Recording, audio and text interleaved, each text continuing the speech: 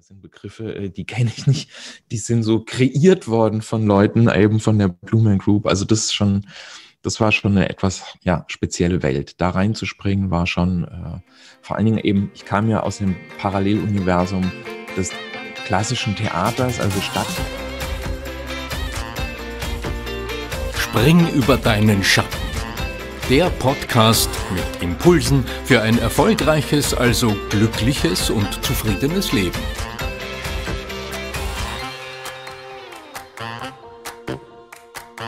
Herzlich willkommen, mein Name ist Gabi Graubner und wir springen jetzt gemeinsam in die erfolgreiche zehnte Woche dieses Jahres.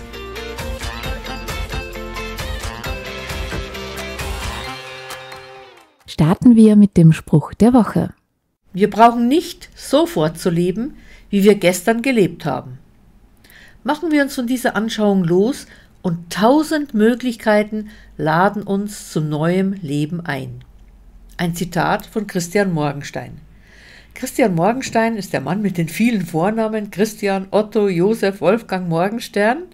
Er war ein deutscher Dichter, Schriftsteller und Übersetzer. Was soll dieses Zitat uns sagen? Es bezieht sich zum einen einmal auf einen Ausspruch, den mein Schattenspringer der Woche getätigt hat. Ihr werdet das im Interview nachher hören. Und zum anderen sagt dieses Zitat natürlich ziemlich deutlich, du hast täglich die Wahl, dich neu zu entscheiden. Denn egal was wir tun, ob wir links rumgehen oder rechts rumgehen, das ist eine Metapher, wir zahlen immer einen Preis. Ob wir heute in die Arbeit gehen, zahlen wir einen Preis. Ob wir nicht in die Arbeit gehen, wir zahlen einen Preis. Ob wir uns einen Tag Urlaub nehmen, wir zahlen einen Preis. Ob wir uns krank melden, wir zahlen einen Preis. Das Wichtigste daran ist, dass du entscheidest, welchen Preis du zahlst und dass du dir über diese Entscheidungsmöglichkeit bewusst bist. Denn dann ist das, was Christian Morgenstern gesagt hat, auf dich genauso zuzutreffend wie auf mich. Denn wir brauchen nicht sofort zu leben, wie wir gestern gelebt haben. Machen wir uns von dieser Anschauung los und tausend Möglichkeiten laden uns zu neuem Leben ein.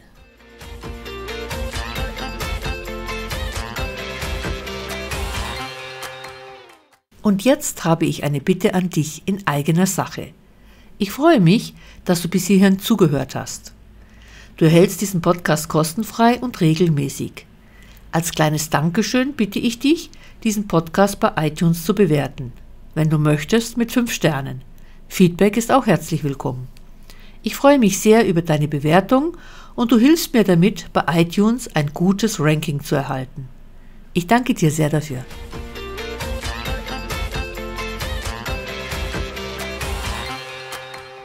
Und nun zum Tipp der Woche.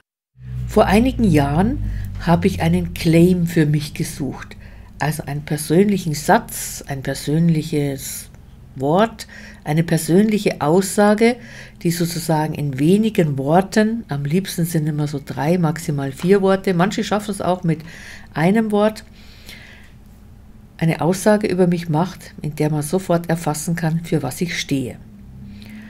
Und ich habe dazu eine Reihe von Menschen befragt, zum Beispiel Freunde, Kunden, Familienmitglieder, Kollegen, aber auch in meinem Verband, welche Eigenschaftsworte sie denn mit mir in Verbindung bringen.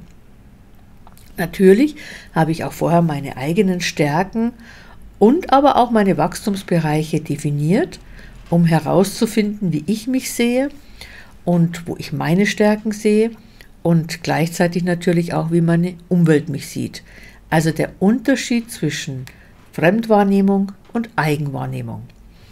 Und am Ende gab es ein Ergebnis, also ein Wort, eine Eigenschaft, das für meine Stärke steht und das ich immer wieder bei den Rückmeldungen der Menschen, die ich gefragt habe, herauskristallisiert hatte.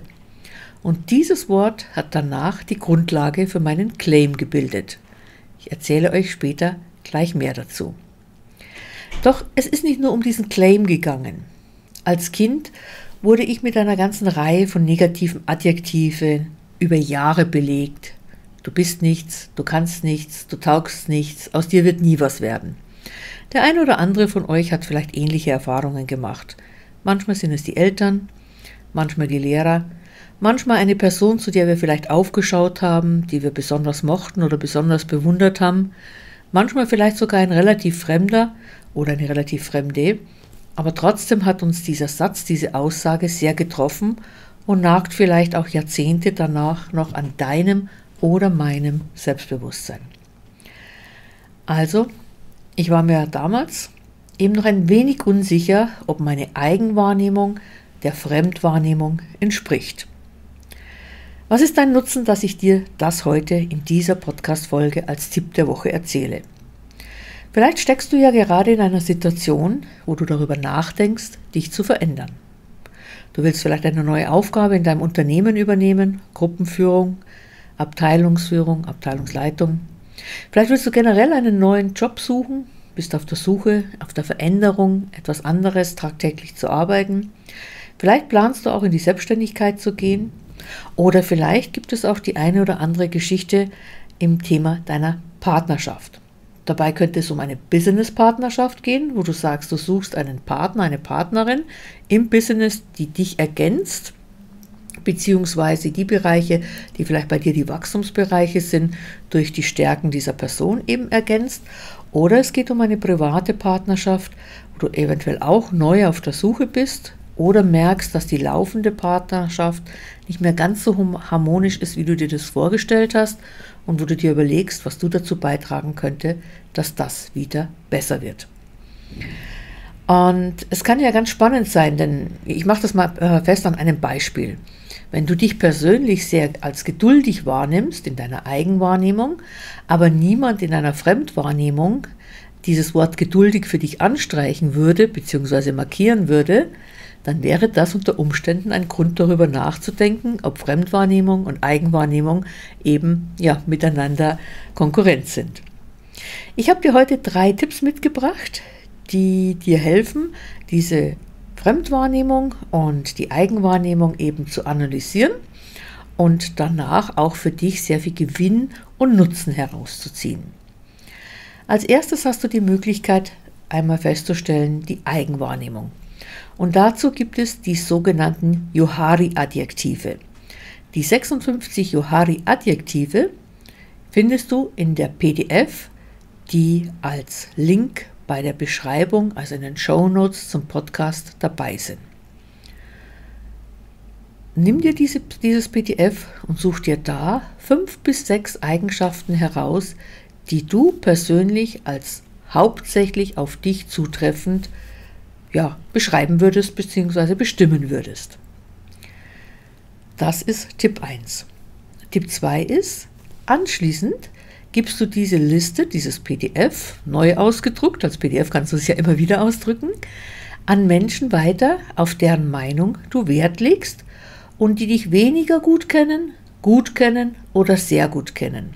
Also es ist nicht ratsam, sie nur den Handvoll oder zwei Handvoll besten Freunden zu geben sondern trau dich ruhig, ein paar Ringe weiterzugehen. Also Ringe heißt, der engste Ring um dich herum ist deine Familie, deine engsten Freunde. Dann gibt es die freundschaftlichen Beziehungen, dann gibt es die Bekannten und dann gibt es eben vielleicht Kunden, vielleicht Kollegen, mit denen man seltener was zu tun hat. Also die Ringe werden immer weiter, aber diese Menschen haben ja auch einen Eindruck von dir und es braucht ein wenig Mut, die anzusprechen, ich habe es ausprobiert, ich habe es dir schon erzählt, aber es funktioniert. Und wenn mal einer sagt, nee, das möchte er nicht, ist das ja auch in, auch in Ordnung. Du kennst bestimmt genug Menschen, um da gleich eine Alternative dazu zu finden. Und du gibst ihnen dann diese Liste und bittest sie darum, eben herauszu, also anzumarkern, herauszufinden, anzustreichen, wie sie dich mit welchen fünf bis sechs Adjektiven aus dieser Liste sie dich belegen würden, wo sie sagen, das genau bist du, das entspricht sozusagen der Art und Weise, wie sie dich ja wahrnehmen und wie sie dich Tag für Tag erleben.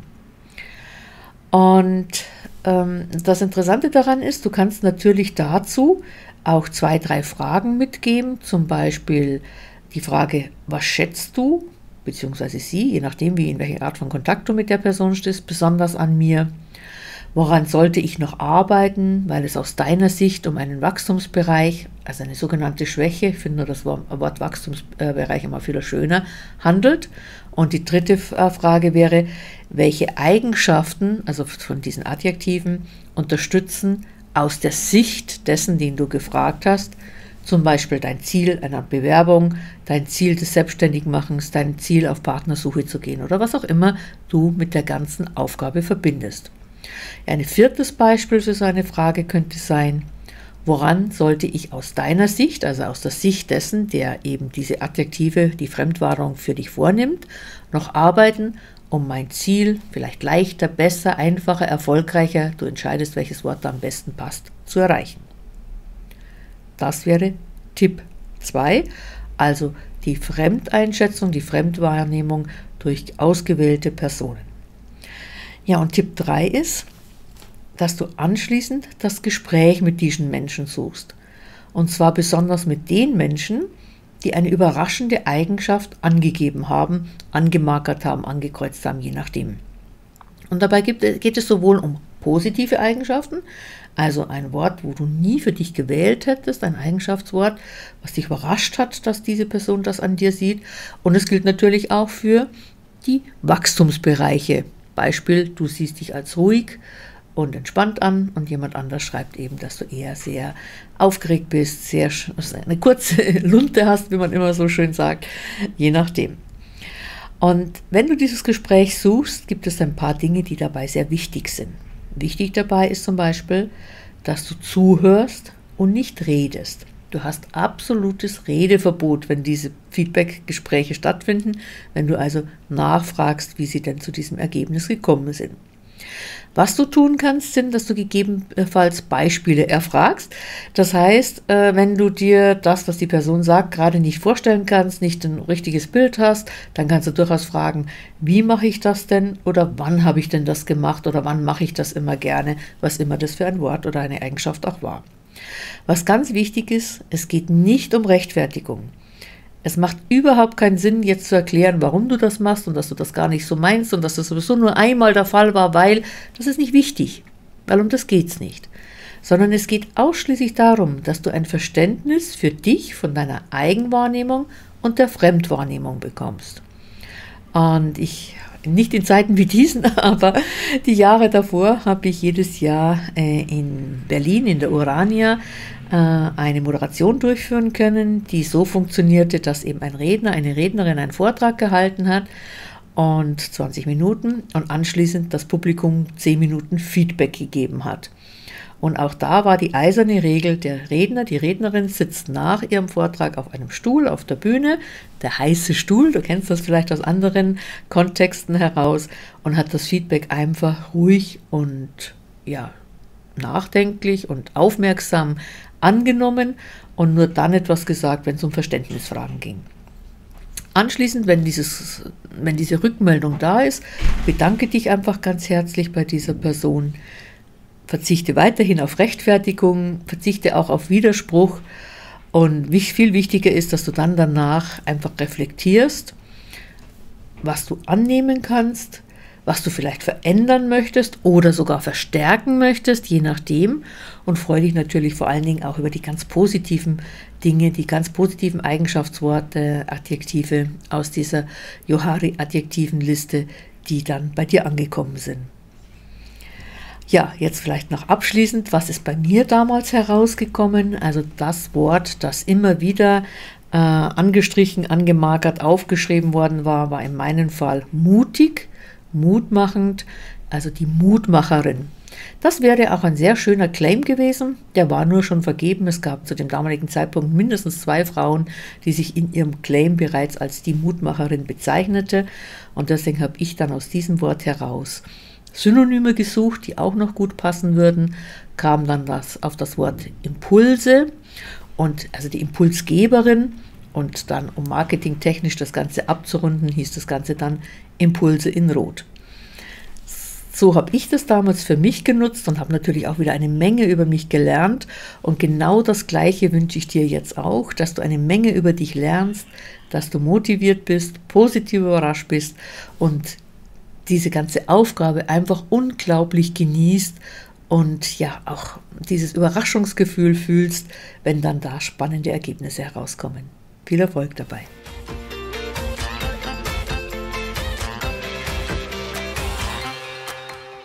Und jetzt kommt der Schattenspringer der Woche. Herzlich willkommen zu meinem Schattenspringer der Woche. Er ist ein spannender Mann und er hat viel mit Künstlern zu tun. Denn er ist von Beruf Regisseur und Coach. Man, wir haben schon viele Menschen gehabt, die ein Studium abgeschlossen hatten, aber noch nie jemanden, der ein Regiestudium abgeschlossen hat mit Diplomabschluss. Das ist schon mal was Besonderes, finde ich. Außerdem ist er Artistikdirektor und Trainerdirektor der Blumen Group gewesen. Das kennen wir alle, die Männer mit den blauen Gesichtern und war da sehr viel für ihr Programm und für ihre Auftritte verantwortlich. Auf seinem Weg zu unserem heutigen Interview war er auch künstlerischer Direktor der Job van der Ende Akademie in Hamburg, der Musical-Ausbildung von Stage Entertainment. Das sind die, die diese wunderbaren Musical machen, die in dieser äh, König der Leben zum Beispiel, denke ich, die machen die, glaube ich, auch in Hamburg. Und ja, heute coacht er besonders mit all dieser Erfahrung, die er mitbringt, Moderatoren, Comedians, Referenten und Keynote-Speaker auf ihre Auftritte oder für ihre Auftritte. Und auch ich durfte schon von ihm lernen und da bin ich ihm immer noch dankbar. Er hat mir schon wertvolle Tipps gegeben und deswegen freue ich mich umso mehr, dass du heute da bist. Lieber Matthias Messmer, herzlich willkommen. Grüß dich, Gabi. Hallo. Lieber Matthias, ein Mensch, der so viele Stufen von berühmten und bekannten Menschen ja auch schon begleitet hat, was bedeutet denn Erfolg für dich? Ja, also Erfolg ist für mich nicht unbedingt jetzt, dass man sagen kann, ich habe jetzt das und das irgendwie, äh, weiß ich nicht, gemacht oder damit jetzt das große Geld verdient oder ähm, jetzt, weiß ich nicht, das teure Auto vor der Tür. Also für mich ist Erfolg tatsächlich, wenn man es schafft, ähm, ja, dem Leben oder der Gesellschaft, also den ganzen Dingen, die einem manchmal auch so Steine in den Weg legen, also tatsächlich Hürden zu überwinden und dann doch zu einem ja, erfolgreichen Umsetzen von bestimmten Ideen zu kommen. Also ich habe es da immer, wie gesagt, ja, ich komme ja vom Theater, ich habe es natürlich immer mit Brecht, der immer sagt, ja, mach nur einen Plan, sei nur ein großes Licht und mach noch einen zweiten Plan, tun gehen sie beide nicht. Also, ne, bei Groschenoper. ja. ähm, und wenn man es dann schafft, trotzdem seine Pläne zu verwirklichen oder überhaupt ähm, eine Idee zu haben, wie man bestimmte Dinge voranbringen kann und die nicht an irgendwas scheitern, was man meistens ja nicht in der Hand hat, dann ist das ein Erfolg. Und der ist nicht immer nur verdient, sondern da spielt ja auch, sagen wir mal, das Glück eine große Rolle. Mhm. Also Erfolg hat ein klein wenig etwas mit Glück zu tun, aber es bedeutet auch für dich, das heißt, die Hürden überwinden. Ob das Steine sind, ob das Löcher sind oder was immer einem so in den Weg gelegt wird. Wie ist das? Also wacht man eigentlich eines Tages als junger Mensch auf und sagt, ich werde Regisseur oder naja, also dazu als, gekommen? das ist eine gute Frage. Als Kind ja. wollte ich auf jeden Fall Theater machen. Und da okay. war ich natürlich, also da wusste ich ja nicht, dass es überhaupt so was wie einen Regisseur gibt. Ja. Aber ich weiß noch, als meine Eltern mit mir das erste Mal zu, zu so einer Veranstaltung gegangen sind von meiner zukünftigen Schule, da war ich ja noch Kindergartenkind. Und mein Vater hat mir sozusagen so ein bisschen äh, ja, also mich gefragt, willst du auf diese Schule gehen? Ne, das, das war eine Waldorfschule, ich gebe es zu. Ähm, ähm, jetzt kommt natürlich immer gleich die Frage, kannst du auch deinen Namen tanzen? Ähm, genau, also da war ich noch völlig naiv und sah, wie die Schüler eben äh, auf der Bühne standen und äh, Theater gespielt haben. Und das hat mich total fasziniert und mir war sofort klar, das will ich auch. Okay, das heißt, du bist zur Waldorfschule gegangen, weil du Theater spielen wolltest. Ja. Und definitiv deinen Namen tanzen wolltest. Nein, nee, das, das wollte ich nicht, aber das wusste ich noch nicht, dass das dann auch noch dazugehört genau. zum Lehrplan. Unabhängig davon, dass du das ja dann auf deinen Weg gefunden hast, natürlich mit einem Beruf, den du damals noch nicht definieren konntest, aber mhm. die Richtung war schon vorbestimmt. Gab es denn Menschen, die dich mit ihren Lebensgeschichten inspiriert haben? Ja, also es gab, es gab auf jeden Fall einen, ähm, mein, ich nenne es immer meinen Regiepapa, meinen mhm. Regievater. Ähm, es war ein Regisseur, mit dem ich in Heidelberg ähm, zusammenkam. Da habe ich damals noch hospitiert, also die allerersten Schritte im professionellen Theater gemacht, nachdem ich ja jahrelang immer in der Schule und auch dann ähm, ja Nee, damals hatte ich tatsächlich noch gar keine Erfahrung mit Regie. Ich hatte also nur in der Schule viel auf der Bühne gestanden.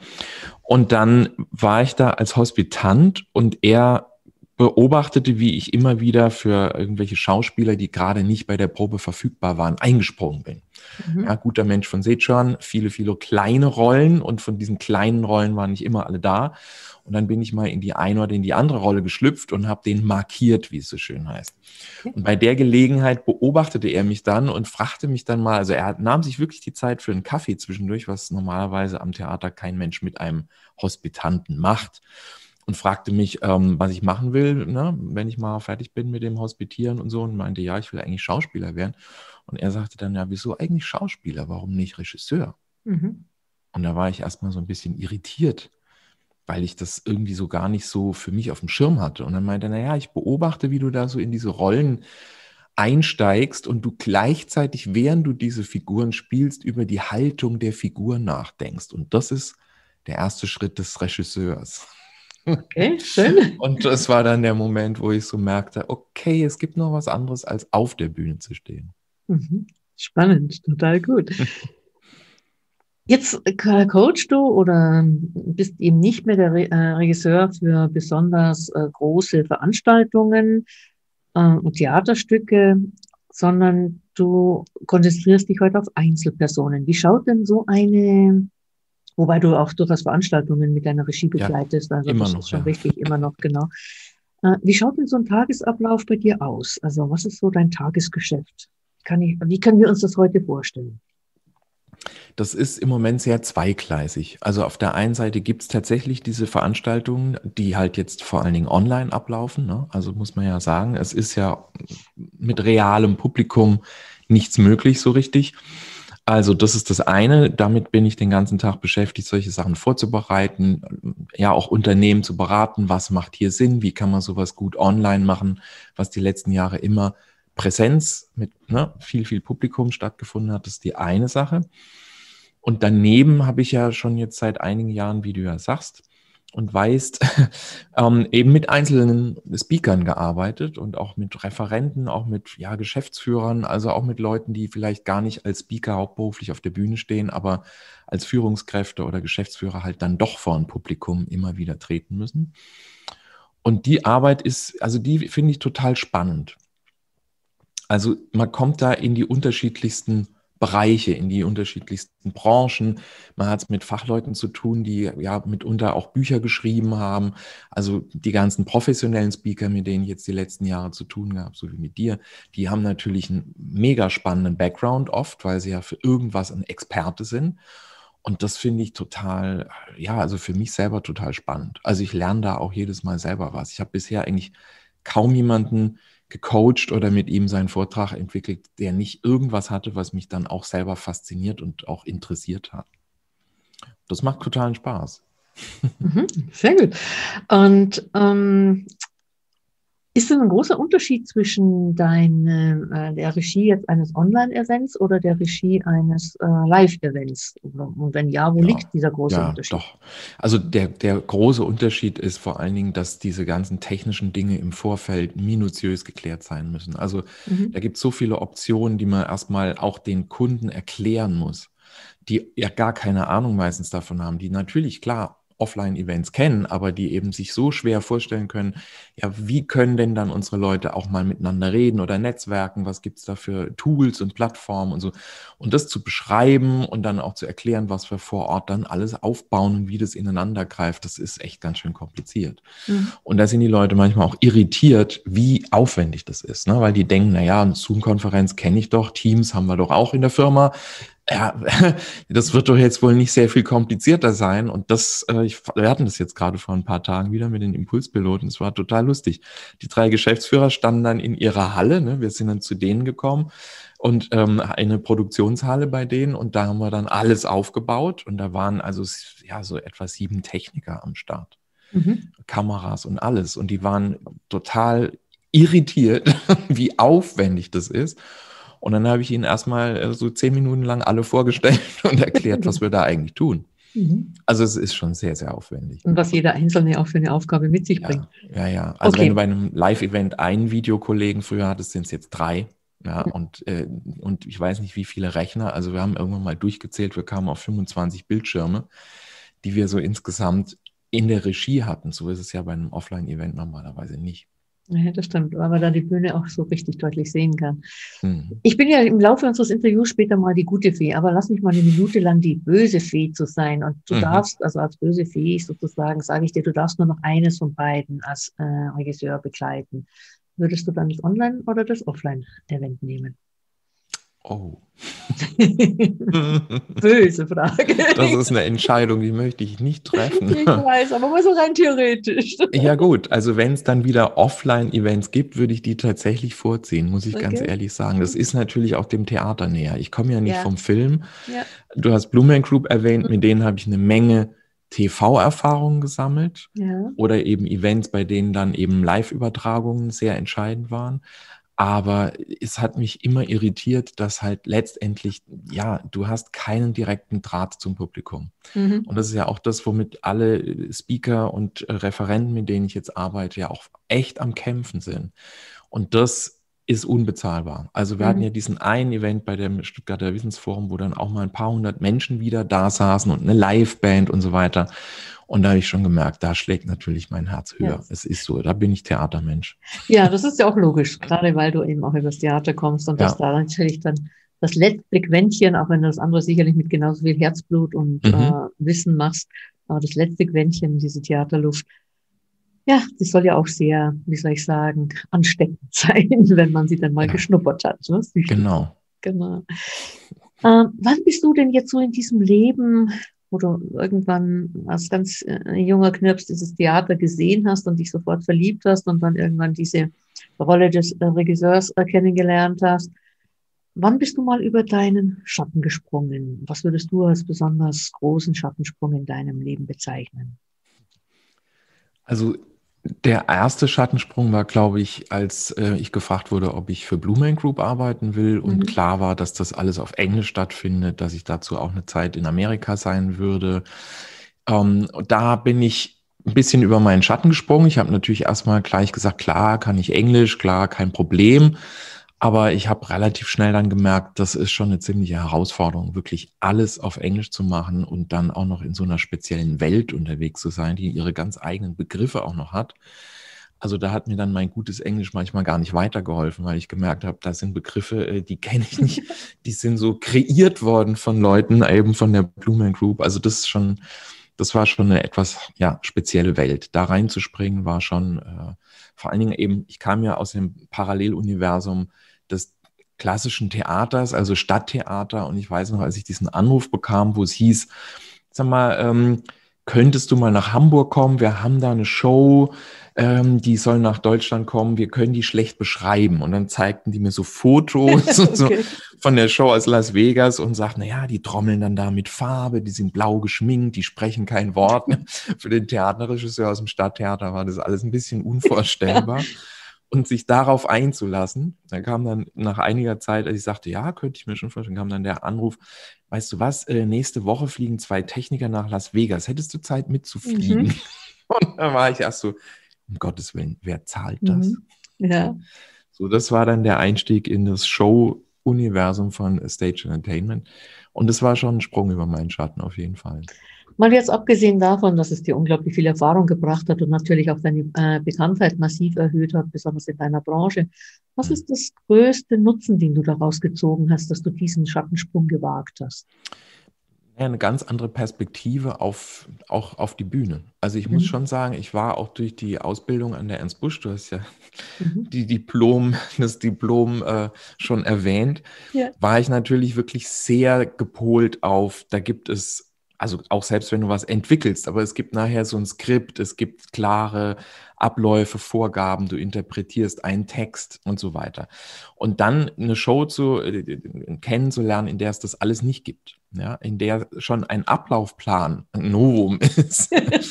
das war für mich schon äh, wirklich ein Sprung ins kalte Wasser. Und da habe ich eine Menge gelernt. Also da mhm. habe ich wirklich eine Offenheit auch kennengelernt dann bei den Machern von dieser Show, die ich eben so vom Stadttheater nicht kannte. Was das natürlich jetzt bei dieser Umstellung durch Covid und Zeiten wie diesen mhm. äh, alles jetzt auf Digitalisierung wahrscheinlich auch geholfen hat, weil du ja dann auch wieder Ja. ohne Regeln arbeiten musstest, weil die Regeln ja erstmal sich Genau. entwickeln mussten. Ja, ne? das war der nächste Sprung ins kalte Wasser. Also ich muss sagen, die Digitalisierung ähm, beschäftigt mich ja jetzt schon seit etwa fünf Jahren. Also in, so in der Zeit hat eine Kollegin von mir an äh, mich mal so darauf hingewiesen, dass ich ja so gar nicht digital bin mit allem, was so auf meiner Website sich so tummelt. Und da habe ich dann mal angefangen, eben mal digitaler zu denken. Habe dann auch Leute gecoacht, die weit weg wohnten, also Speaker gecoacht, die dann eben in Wien waren. Und Mhm. ich habe eine, ein Jahr lang eine Speakerin in Wien gecoacht, äh, immer in Abständen, immer mal wieder mit ihr gearbeitet, ohne dass wir uns live überhaupt kennengelernt hatten. Mhm. Und das war für mich ein Novum. Und dann Mhm. eben, ja, so bestimmte Dinge einzurichten, Tools zu entwickeln, mit denen ich jetzt digital mit den Leuten arbeiten kann, das ist ein Prozess. Aber das war auch ein Sprung ins kalte Wasser, weil ich konnte mir das erst nicht vorstellen. Also beides waren so Sprünge, wo ich sagen muss, da hat sich dann mein Horizont extrem erweitert. Okay. Das klingt spannend und vor allen Dingen vorbildhaft. Jetzt ist ja so ein Schattensprung etwas, was du von dir aus tust, also was Anlauf braucht, was, was Energie braucht, Mhm. was Willen braucht, was Durchhalten braucht. Was ist denn das Beste, was dir passiert ist? Also etwas, wo ich bezeichne es immer ganz gerne, so vom Himmel gefallen ist und Mhm. du dann auch zum Universum sagst, oh, danke schön, liebes Universum, dass das jetzt passiert ist. Was würdest du als das Beste bezeichnen, das dir passiert ist bis heute? Oder eine der besten Dinge? Naja, also jetzt so vor kurzem war wirklich das, also da war eben ähm, Ralf Schmidt von den Impulspiloten für mich Mhm. ganz entscheidend, als der eben, als der erste Lockdown losging, sagte, okay, wir, wir experimentieren jetzt, wir probieren jetzt mal die Sales-Up-Konferenz online, nur online zu machen. Ich bin jetzt hier in Hamburg mit einem Studio, da ist noch ein Musiker dabei, den du kennst, und sonst ist da niemand live und alle anderen werden zugeschaltet. Wir haben noch keine Ahnung, ob das funktioniert. Und dann meine ich, ja, und was soll ich bitte dabei tun? Und mein Ralf, ich weiß es nicht, aber bitte sei da. Komm Okay. nach Hamburg. Und dann bin ich so am dem Tag, an dem dann Lockdown war, abends hat die äh, Kanzlerin ihre Ansprache gehalten, saß ich in, in einem gefühlt letzten Zug nach Hamburg mit meinem Equipment und bin dann da hingefahren. Und das war, ja, schon eine gute Entscheidung damals. Mhm. Weil seitdem haben wir wirklich wahnsinnig viel zusammen auf die Beine gestellt. Und ähm, ich weiß nicht, wenn ich damals nicht nach Hamburg gefahren wäre, hm, Mhm. Wer weiß, was dann gewesen wäre. Aber es wäre auch gut gewesen, nur anders. ganz sicher. Jetzt bist du öfters ins kalte Wasser gesprungen, hast dich was getraut, hast den Schattensprung gemacht. Gibt es etwas, wovor du heute noch Angst hast? Hm. Ja, generell glaube ich. Ich habe, glaube ich, generell immer Angst, dass Leute von mir enttäuscht sein könnten. Sage ich Mhm. ganz ehrlich. Also, Mhm. dass sie wirklich sagen, ich, ich äh, buche dich jetzt als, als Coach oder ich hole dich jetzt zu einem Event als Regisseur und dann läuft irgendwas komplett schief und äh, irgendwie sind Leute total enttäuscht. Also das, das macht mir immer einen gewissen Druck, was dann Mhm. dazu führt, dass ich gerade, wenn es um solche großen Events geht, wo eine Menge auch Beteiligte dranhängen, dass ich da schon gerne auch den Auftraggebern am Anfang gleich Dinge auch ganz ehrlich sage. Mhm. Also was online gut funktioniert und was online nicht gut funktioniert. Und ich Ja.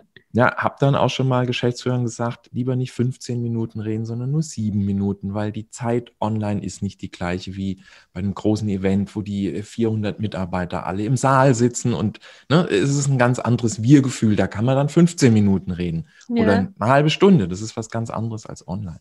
Und das sind so Sachen, da weiß ich, da gehe ich manchmal auch vielleicht direkter auf die Leute zu, als die das von einer normalen, sag ich mal, Eventagentur gewohnt sind, wo man immer sagt, ja, ja, machen Sie einfach, wie Sie denken, alles wird gehen.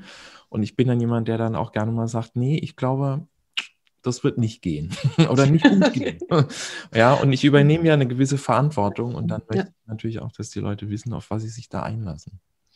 Ein bisschen sehe ich deine Arbeit ja auch so wie, wie eines Archäologen. Ne? Der so, den stelle ich mir immer so vor, der so mit seinem Pinselchen, dem Sand, ganz fein säuberlich dann diese Vase aus der Erde buddelt oder diese Figur oder diese Gottheit. Mhm. Es ist doch, äh, ja, ein wenig sehe ich deine Arbeit schon so. Du gräbst aus, was da ist und setzt es in Szene. Du setzt ja nichts rein in den Sand, um es in, der. Metapher zu bleiben. Ne? Das stimmt. Also da, was du, ich verstehe das so, du meinst, dass ich also auch aus den Leuten und aus den Situationen, die da sind, was raushole, was Ja. sie vielleicht selber gar nicht wissen oder. Das auch. Aber ich denke Mhm. mir auch, wenn du so einem Geschäftsführer sagst, sieben Minuten sind besser als 15 Minuten, dass das nicht nur was damit zu tun hat, ob die Internetleitung so weit durchhält. Davon können wir fast immer das ist ausgehen. nicht das Problem. Aber wahrscheinlich erkennst du auch, dass ihm sieben Minuten einfach besser liegen als 15.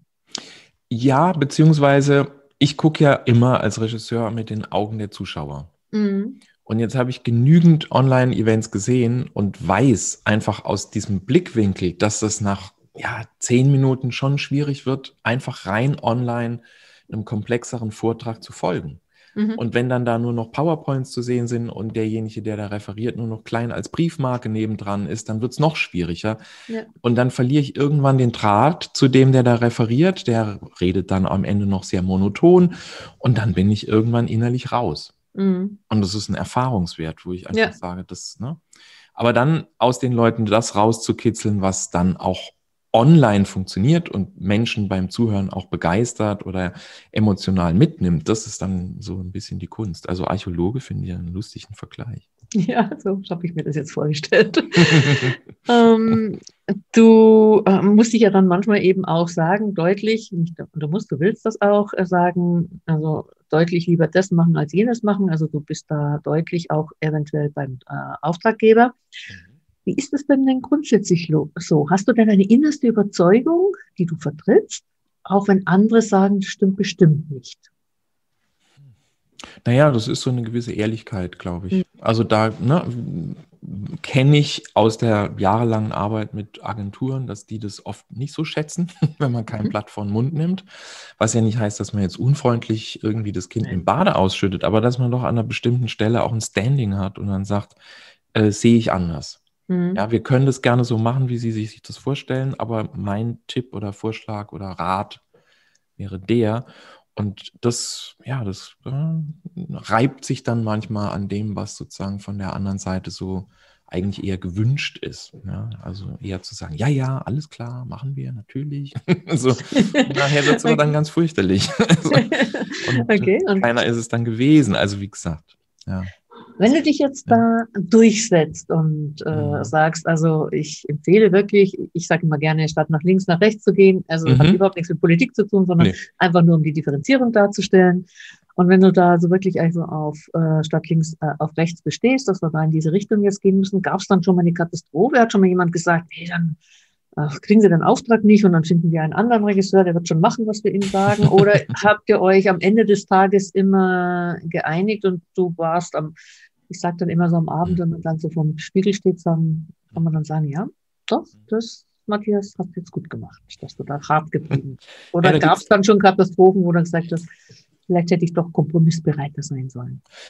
Naja, sagen wir mal so, es, kann, es gibt natürlich in, gerade im Event, also gerade wenn man auf, auf Sendung ist, sage ich jetzt mal, wenn die Sachen laufen, da gibt es natürlich immer auch mal Situationen, wo man gestresst ist oder wo die Techniker oder jemand vor der Kamera gestresst ist. Und ähm, äh, bisher ist das eigentlich immer super gut gelaufen, aber dann lässt man natürlich eine Menge Nerven. Und es kann dann auch schon mal sein, dass man dann vielleicht sich mal im Ton vergreift. Also mir ist es in, in Situationen auch mal passiert, dass ich dann einen Techniker mal angefahren habe oder so. Aber das waren wirklich eher so Situationen aus dem Stress, der dann eben ist, wenn alles so live perfekt funktionieren soll. Ähm, aber es gibt auch, gab tatsächlich mal einen, einen ähm, Auftraggeber, der hat sich, der war beratungsresistent. Also Mhm. da haben, äh, haben wir ganz freundlich gesagt, so sehen wir das, das wäre ratsam. Und er hat gesagt, ja, verstehe ich alles, aber wir machen das so, wie ich das sage. Und es wurde dann schwierig. das würde dann schwierig. Das wurde dann sehr schwierig. Und das war dann auch ein Auftrag, der dann tatsächlich auch mal nicht richtig so zustande kam, wie sich das alle gewünscht haben. Ja. Mhm. Aber sonst habe ich das eigentlich jetzt sogar in der letzten Zeit eher positiv gespiegelt bekommen, dass ich auch Leute hatte, die sagten, ja, ähm, Herr Messmer, Sie haben da schon deutlich gegengehalten, aber das war gut für uns, weil wir hatten ja noch nie so ein Event und dann wussten wir, wir haben da jemanden, der weiß wirklich Bescheid. Mhm. Und der gibt uns auch einen Halt. Ja, der ist nicht wachsweich und gibt immer nach. Und man weiß eigentlich nicht, ist es jetzt wirklich gut, was wir da tun oder nicht, sondern da war ganz klar sozusagen immer wieder auch eine Grenze, die war freundlich, aber bestimmt. Und dann wussten wir auch, das gibt uns einen Halt. Mhm. Also ich denke, gerade in orientierungsloser Zeit, und wir haben immer noch eine orientierungslose Zeit, ja. weil wir ja so eine Zeit nicht gerade über zehn Jahre äh, Erfahrung verfügen können, egal in welcher Branche, egal in welcher Situation, ist jemand, der eine klare Linie hält mhm. und eine klare Linie hat, schon, glaube ich, auch als sehr positiv äh, wird der wahrgenommen, weil es ist wenigstens eine ähm, etwas Festes, eine Statue, die da mhm. sozusagen in, in dem Wirrwarr des, äh, des Das ist äh, schön gesagt, ja. In dem Wirrwarr. es gab einen Speaker-Kollegen, der mal bei, also ne, in, in, einem, in einem Workshop bei mir war, der hinterher sagte, ähm, was besonders gut war, war das messmerscharfe Instant-Feedback von dir. Okay, das ist den, mal ein schönes Zitat. Den Begriff fand ich natürlich super. Das ist sehr, ja, da steckt genau. aber viel Philosophie dahinter. Mm. Um Wortspiel ganz zu schweigen. Genau. Also ich meine, das muss natürlich auf eine Art sein, dass man das Feedback ja. auch annehmen kann und nicht völlig zerstört ist. Also was ich mm. immer wieder mitkriege, ist, dass Leute zu mir kommen und sagen, ja, ich hatte da ein Coaching und dann hat derjenige oder diejenige nur gesagt, das geht ja alles gar nicht. Und dann wurde mein ganzer Vortrag über Bord geworfen und dann stand ich da und hatte nichts, so in etwa. Und das finde ich ganz schwierig. Also, ja, das ist schade. ja, und deswegen, dann stimmt dein Bild mit dem Archäologen. Dann sehe ich mich auch eher als der, der was freilegt und ausgräbt, was ja da ist, weil die Leute mhm. bringen ja alle genug mit. Also, mhm. also jedenfalls habe ich bisher immer nur Leute erlebt, die immer was Spannendes zu erzählen hatten ja, dem muss man sozusagen nur die Bühne schaffen, aber man muss jetzt demjenigen nicht sagen, wie du das machst, ist alles völlig Banane, geht ja. nicht oder so. Ja, ist auch schade, genau. Ja. Aber da wären wir gleich beim richtigen Thema, nämlich was ist denn der schlechteste Rat, den du jemals bekommen hast oder bei anderen gehört hast? Also das äh, zählt durchaus auch. Das ist tatsächlich da, also bei der Frage, da fällt mir echt spontan nicht wirklich was ein, weil ich mhm. habe eigentlich, muss ich sagen, in meinem Leben bisher das Gefühl gehabt, wenn ich einen Rat bekommen habe, dann konnte ich mit dem auch wirklich was anfangen und was, also dann kam ich damit weiter.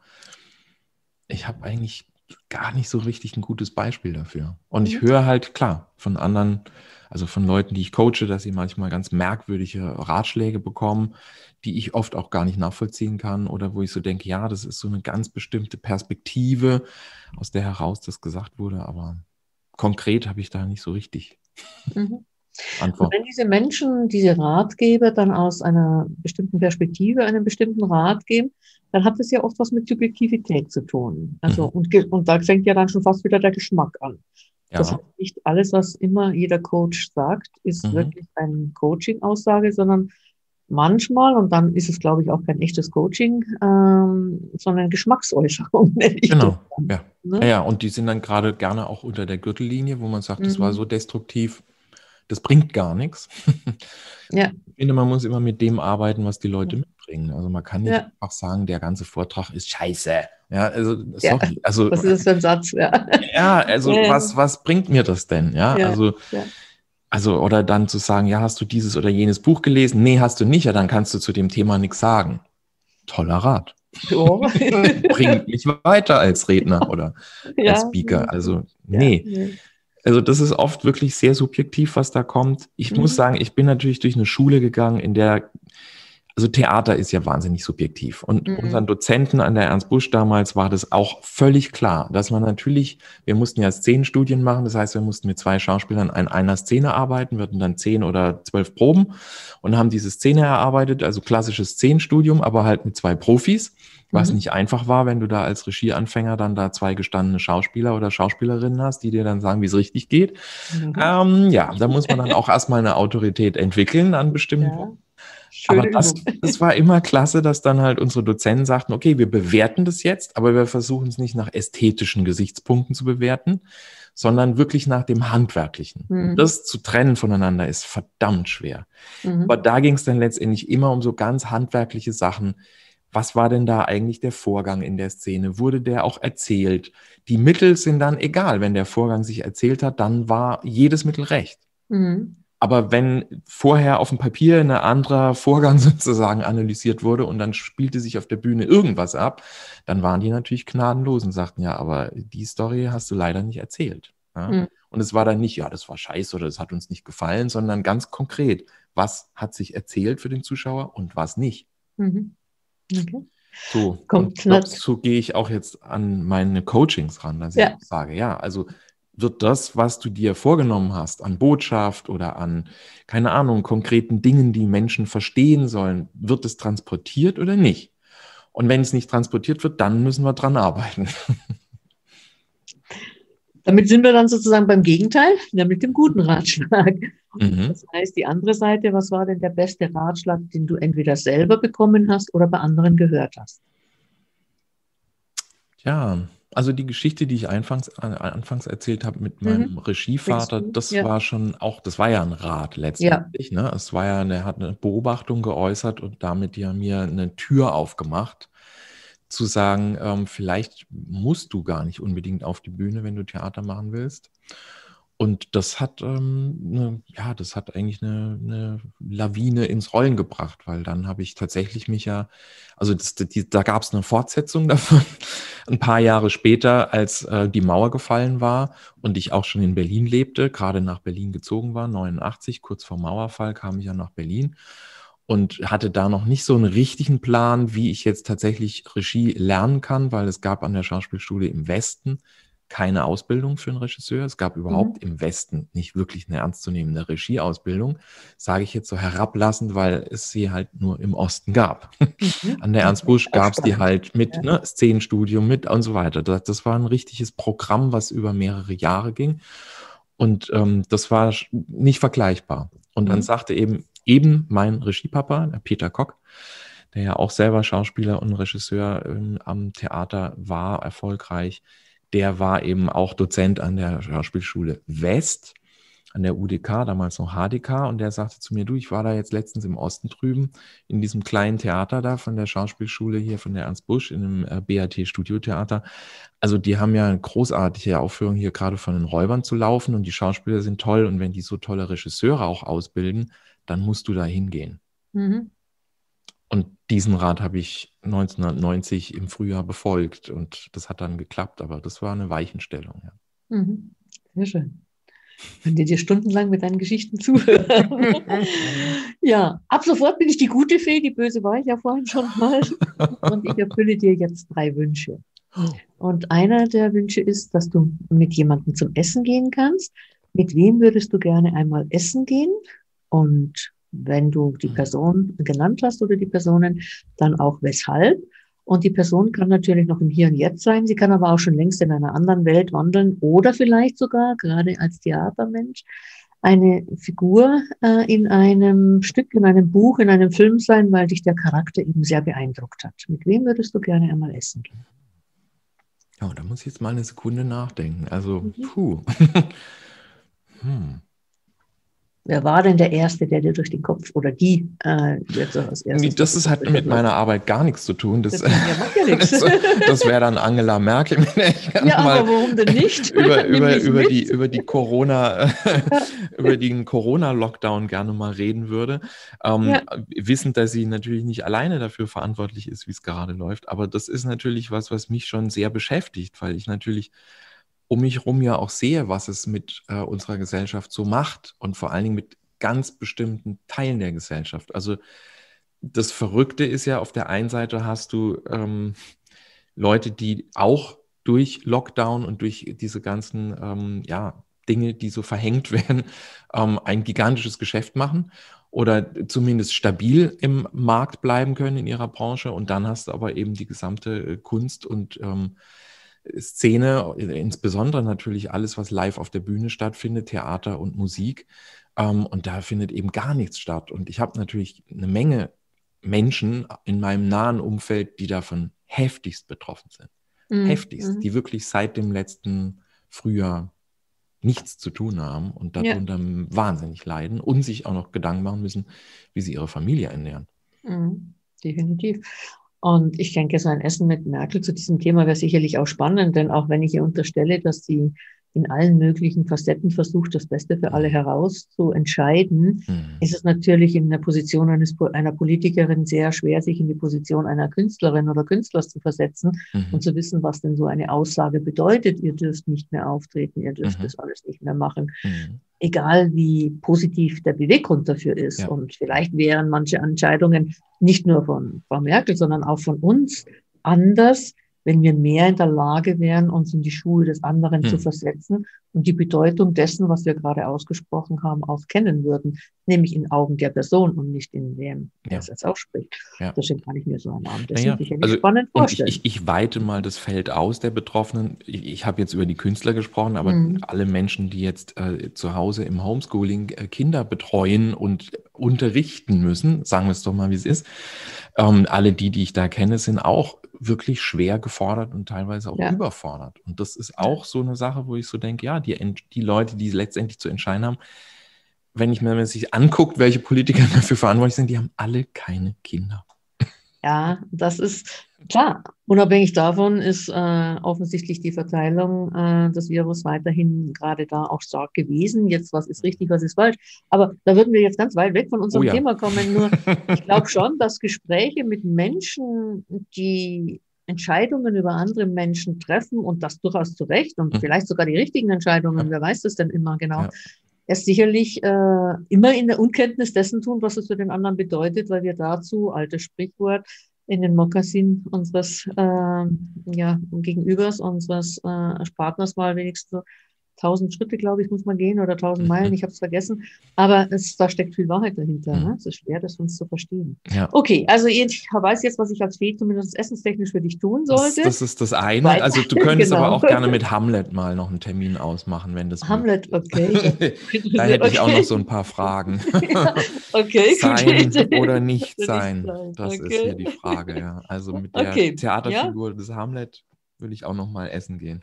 Okay, ja, das jetzt wird schon auf, äh, jetzt wird schon anspruchsvoll meine Arbeit als Weh. Ich komme trotzdem zum zweiten Wunsch. Mhm. Und der zweite Wunsch ist, wenn du heute Nacht schläfst, Mhm. ähm, werde ich geflogen kommen und Mhm. dir ein goldenes Pülferchen über dich streuen. Und wenn du morgen früh aufwachst, hast du eine neue Eigenschaft, eine neue Fähigkeit. Was hättest du gerne?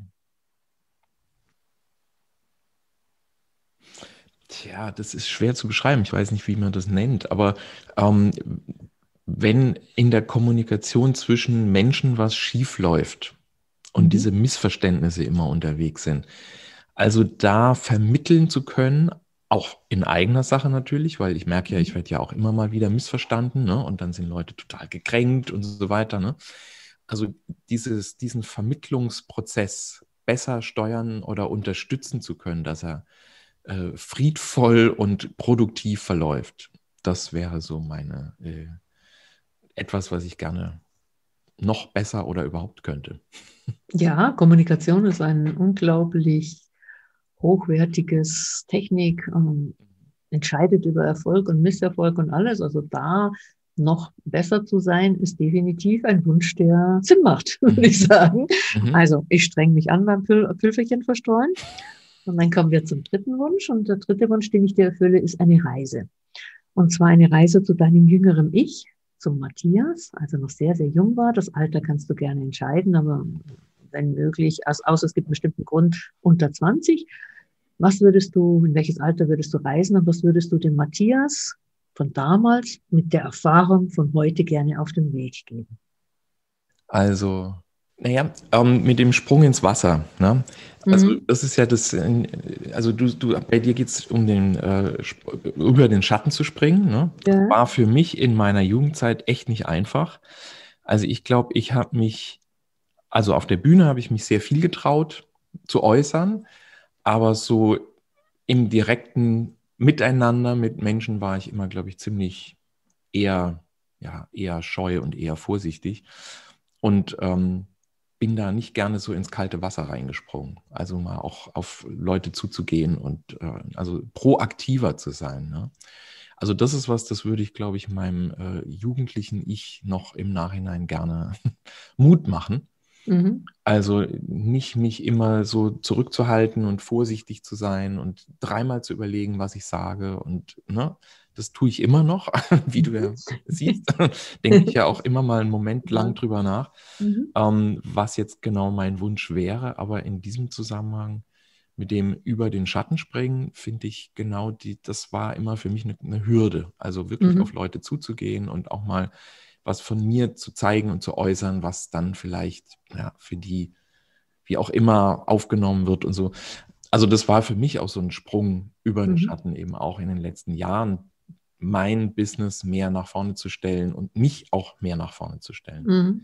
Also Workshops zu geben, mich auf die Bühne zu stellen und mal einen Impulsvortrag zu halten und so weiter. Also mehr in die Öffentlichkeit zu gehen, sichtbarer zu werden, auch eine Website zu machen, auf der ein großes Foto von mir zu sehen ist, alles solche Sachen. Ne? Das ist eigentlich Mhm. überhaupt nicht mein Ding. Als Regisseur bin ich da immer im Hintergrund geblieben und die anderen standen immer auf der Bühne. Und das hat sich die letzten Jahre tatsächlich geändert. Und mit der Erfahrung würde ich jetzt meinem jugendlichen Ich sagen, sei mutiger, geh mal mehr nach vorne, geh mal mehr aus dir raus, lass die anderen mal mehr teilhaben an dem, was mit dir gerade los ist und halte dich nicht so ne, zurück. Ja, ja. Ich denke, die Regisseure, die in dieser Welt sehr berühmt und sehr bekannt sind, arbeiten ja auch letztendlich im Hintergrund, aber sie haben auch, glaube ich, sehr viel Talent, sich in Szene zu setzen. Sie sind sehr laut. Ne? Wobei das ja schon auch ein kleiner wahnsinniger Widerspruch ist, ne? dass du einerseits ja äh, die Menschen vor dir auf die Bühne bringst und zum Glanze erstrahlen lässt, Mhm. Ähm, was automatisch bedeutet, dass du natürlich dich zurück und herausnehmen musst. Und auf der anderen Seite, Erfolg hat natürlich viel auch damit zu tun, dass es anderen bewusst wird und das hat wieder was mit Lautstärke und selber auf der Bühne und sei es nur eine imaginäre Mhm. zu stehen. Also ich denke mir, das ist schon eine Herausforderung, wo man so auch einige Jährchen dran knappert, um das so hinzukriegen, wenn man nicht irgendwie aus irgendeinem Grund da ein Riesentalent dafür mitbringt. Aber Genau. das ist dann wieder eine andere Gabenverteilung gewesen, die es dann ja irgendwie gab. Aber sehr spannend. Also das Mhm. kann ich mir ganz gut vorstellen. Ähm, Weil wir jetzt bei dem Thema sind, was ist dir denn, also die Fee ist weg, weißt du, es ist im Märchen wie im richtigen Leben oder im Mhm. Leben ist wie im Märchen, drei Wünsche und schon ist sie wieder weg, die Fee. was ist dir denn in der letzten Zeit gut gelungen? So eine Sache, wo du sagst, ja, da bist du richtig stolz drauf, weil es dir sehr gut gelungen ist.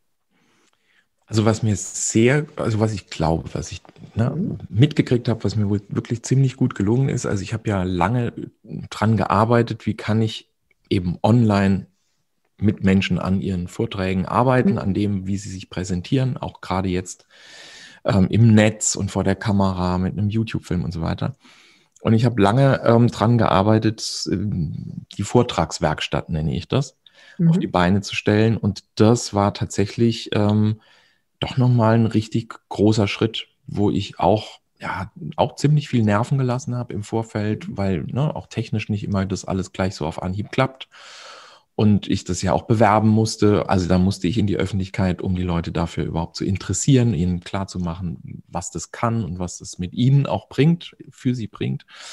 Und dann liefen aber diese Sessions sehr gut, weil es ja so eine Mischung aus, es gibt Dinge, die kann ich online für mich bearbeiten, die kann ich abrufen und da kann, also ich als Teilnehmer und ich als Matthias kann mit den Leuten da auch arbeiten und kann ganz konkret ihnen Vorschläge und Ideen geben und ihr Feedback geben. Und dann gibt es eben diese Session, wo die ganze Gruppe immer zusammenkommt, zweimal die Woche, zwei Stunden jeweils. Und das ist eine Menge, ähm, ja, auch Online-Zeit, die du ja auch vorbereiten musst und die Gruppe ja führen musst, obwohl du die Leute ja gar nicht wirklich kennst. Also gab nur ein, zwei Teilnehmer, die ich vorher schon kannte.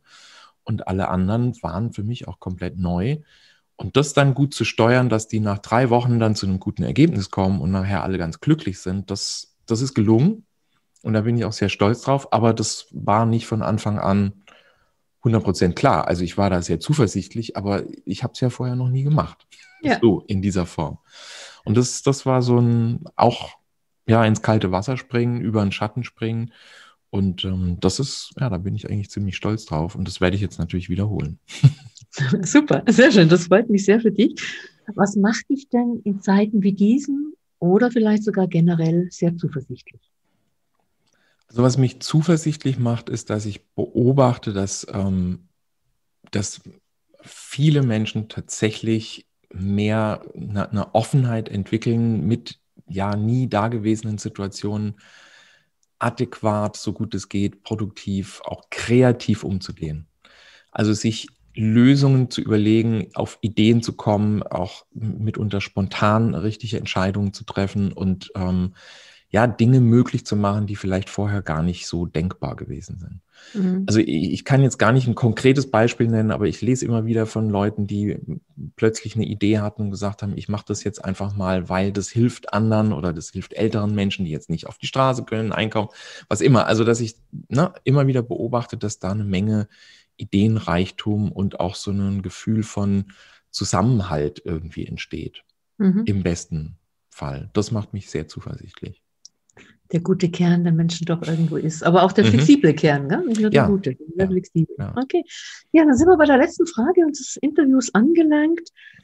Wie lautet denn dein letzter Rat, Hinweis, Aufruf, wenn möglich mhm. in einem Satz, den du gerne an alle Zuhörerinnen und Zuhörer so als letzten Satz mitgeben möchtest?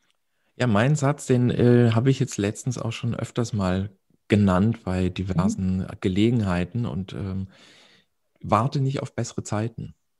Mhm. Was ich damit meine ist, ich habe ja mit einer Menge Referenten und Speakern und Menschen zu tun. Ich nenne die auch immer Botschafter. Ja, das sind mhm. ja nicht immer Leute, die hauptberufliche Speaker sind, sondern ne, die haben vielleicht, wie gesagt, sind Experten oder sind Unternehmer und wollen aber was Bestimmtes ja auch bewirken und wollen auch mal auf der Bühne oder vor der Kamera Menschen dafür begeistern.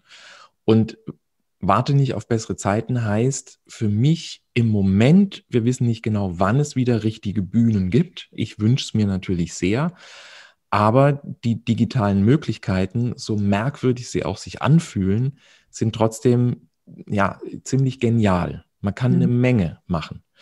Und ich finde es ganz wichtig, dass Leute nicht sagen, ja, ich traue mich das nicht und ich bleibe mal lieber hier und warte mal und wenn es dann dann soweit ist, gehe ich wieder auf die Bühne und so, sondern dass sie trotzdem was ausprobieren, dass sie mutig sind und sagen, ich springe da jetzt mal über meinen Schatten, ich probiere jetzt mal eine Technik, mit der ich vielleicht noch gar nicht gearbeitet habe, aus. Aber darüber erreiche ich jetzt tatsächlich auch Leute, die ja von meiner Botschaft auch erfahren sollen. Mhm. Und da kann ich nur alle ermutigen. Das meine ich mit Warte nicht auf bessere Zeiten. Ist natürlich ein Zitat von Wolf Biermann. Ganz Rande. ähm, insofern ähm, ist es nicht wirklich von mir der Spruch, aber ich finde den gerade im Moment wahnsinnig aktuell und sehr ähm, ja, bedenkenswert. Man muss gut, äh, gute Zitate gute Äußerungen, gute Motivationssätze ja nicht neu erfinden, man muss sie nur in Gebrauch halten. Und ich finde, warte nicht auf bessere Zeiten. Ein wunderbaren Satz und einen wunderbaren Abschluss für unser Gespräch. Gut, dass wir das jetzt geführt haben und nicht später.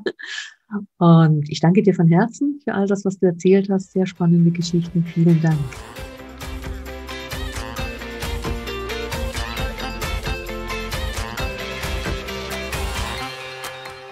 Und Gabi, was hat dich letzte Woche überrascht? Hand aufs Herz. Wann hast du das letzte Mal an einer Ampel mit deinem Auto gehalten oder vielleicht auch in einem Bus oder in einer Straßenbahn und hast du die Autofahrer rechts und links von dir beobachtet und hast dann jemanden dabei erwischt, der ganz genüsslich in der Nase bohrte? Sicherlich hast du das auch schon das eine oder andere Mal äh, ja, gesehen und dich vielleicht auch ein wenig gewundert. Aber dieses, wie nennt man das so schön, unziemliche Verhalten sieht man nicht nur an der Ampel, im Auto rechts und links, sondern das erleben wir. Coaches, Trainer, Redner, die jetzt sehr, sehr viel online arbeiten, also über die Kameras Webinare und Seminare machen, auch bei den Teilnehmern und Zuschauern immer wieder, dass sie gelegentlich ich bleibe mal bei dem Begriff unziemliches Verhalten an den Tag legen. Und ich habe mit einer Kollegin in der letzten Woche einmal darüber diskutiert, warum das so ist. Weshalb machen wir Menschen das? Und ich will gar nicht ausschließen, dass mir das nicht auch schon mal passiert ist. Gut, nicht an der Kamera, da bin ich ziemlich wachsam. Aber im Auto, naja, ich weiß nicht, ob ich da wirklich meine Hand dafür ins Feuer legen könnte, dass mir das noch nie passiert ist. Aber es gibt tatsächlich jemand, der darauf eine Hypo äh, Hypothese entwickelt hat. Und zwar ist das Sören Al-Rubai vom Berufsverband Deutscher Psychologen. Und ihre Hypothese lautet, dass das Auto für viele Menschen eine Art mobiles Zuhause ist. Außerdem ist es ein geschlossener, geschützter Raum, weil ringsrum um uns herum ja etwas ist, auch wenn das durchsichtig ist, nämlich anhand der Fensterscheiben. Man fühlt sich wohl und sicher, weil man das kennt, das Auto, weil man da drin sitzt. Und desto wohler und sicherer man sich fühlt, desto mehr sinkt eben unsere Schamgrenze, beziehungsweise wir vergessen sie einfach. Und dieser Wohlfaktor, steigern wir durch unseren Lieblingsradiosender, durch unsere persönlich angepasste Sitzposition. Die Spiegeln sind auch so, dass man gut was sehen kann. Vielleicht haben wir sogar noch die einen oder anderen kleinen Deko-Elemente im Auto und schon haben wir das Gefühl, in unseren Privaträumen zu sein und in diesen Privaträumen, ja, bewegen wir uns halt auch privat. Das gleiche Phänomen gilt übrigens auch für Menschen, die in ihren vier Wänden leicht bekleidet oder vielleicht sogar ganz nackig durch die Wohnung laufen, obwohl Fremde durch das Fenster hereingucken können und man sich das irgendwo auch im wachen Bewusstseinszustand klar ist, aber weil in unserer Wohnung ist es natürlich noch viel höher mit dem Wohlfühlfaktor, zumindest in den meisten Wohnungen, und wir dann irgendwie das Gefühl haben, wir sind hier geschützt und keiner kann was sehen, auch wenn die Fenster komplett auf sind oder eben auch nicht, ähm, ja, sagen wir mal, durch sogenannte Vorhänge oder ähnliches geschützt sind. Und Al-Rubai meint, dass einige Menschen vielleicht auch den Sichtschutz von abgedunkelten Autoscheiben oder dünnen Vorhängen ja, überschätzen. Also das ist die Erklärung und vielleicht äh, veranlasst dich diese Erklärung, wenn du beim nächsten Mal wieder rechts und links guckst und da unziemliches Verhalten erspähst, zu schmunzeln und zu denken, mein Gott, sind wir alle menschlich. In diesem Sinne wünsche ich dir ganz viele Schmunzler.